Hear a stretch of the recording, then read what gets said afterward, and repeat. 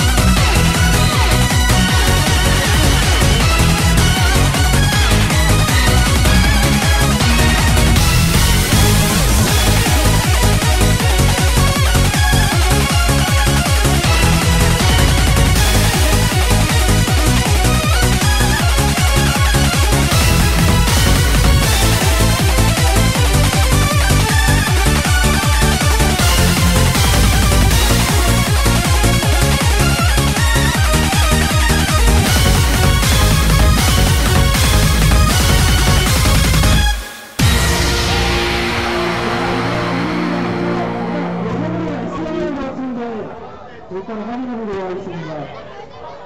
저 여성분이 수가 나온 같은데 아니요 수가는 1.6점입니다.